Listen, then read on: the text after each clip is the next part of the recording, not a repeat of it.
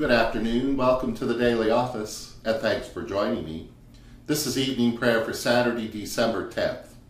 It's the second week in Advent and week two in our psalm cycle. The scripture for this service, Psalm 42 and Luke 22, verse 31 to 38. And now please join me in singing the second verse of Once He Came in Blessing. Still he comes within us, still his voice would win us from the sins that hurt us, would to truth convert us. Not in torment hold us, but in love enfold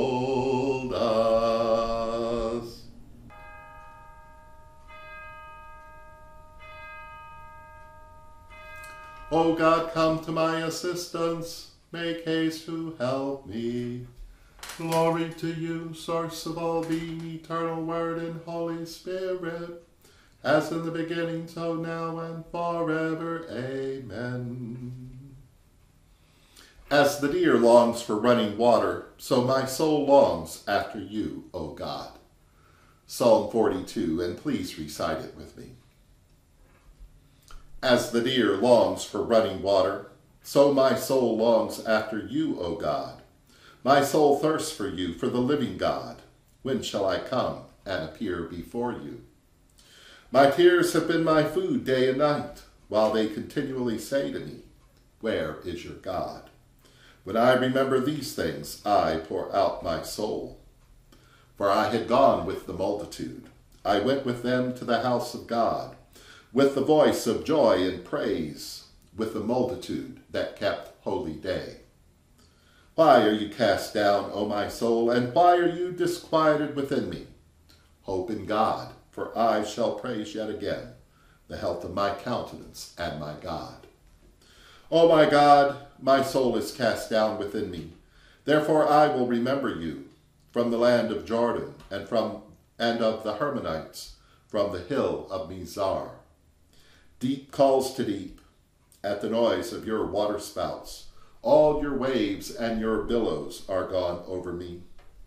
And yet you command your loving kindness in the daytime, and in the night your song shall be with me, and my prayer to you, the God of my life. I will say, My rock, why have you forgotten me? Why do I go mourning?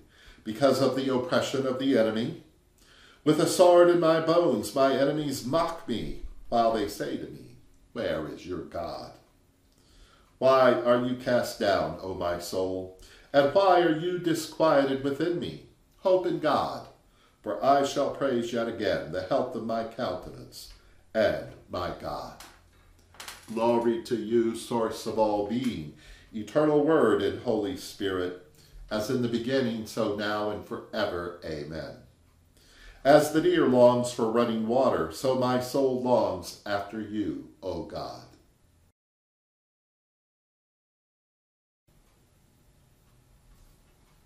A reading from the Holy Gospel according to Luke, chapter 22, beginning at verse 31. Jesus said, Simon, Simon, listen.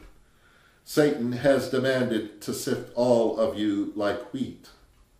But I have prayed for you that your own faith may not fail, and you, when once you have turned back, strengthen your brothers. And he said to him, Lord, I am ready to go with you to prison and to death.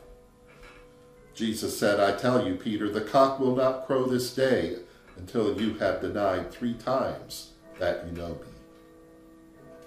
He said to them, When I sent you out without a purse, bag, or sandals, did you lack anything? And they said, No, not a thing. And he said to them, But now the one who has a purse must take it, and likewise a bag. And the one who has no sword must sell his cloak and buy one. For I tell you, this scripture must be fulfilled in me. And he was counted among the lawless. And indeed, what is written about me is being fulfilled. They said, Lord, look, here are two swords. And he replied, It is enough. Here ends the lesson.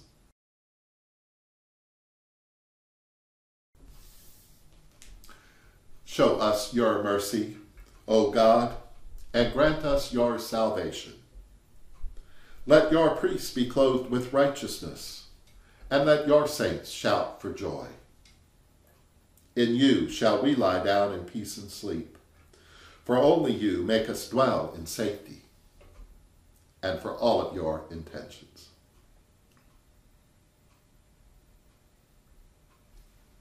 And now, in the words our Savior taught us, we are bold to say, Our beloved, which art in heaven, holy is your name.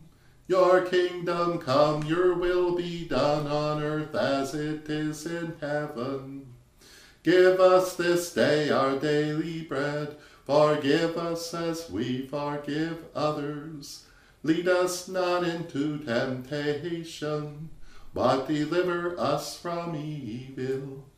For the kingdom, the power, and the glory are yours, now and forever. Let us pray. We long for you, O God, and thirst for your presence. Shed your loving kindness upon us. Be our help all the days of our lives. In Jesus' name we pray. Amen.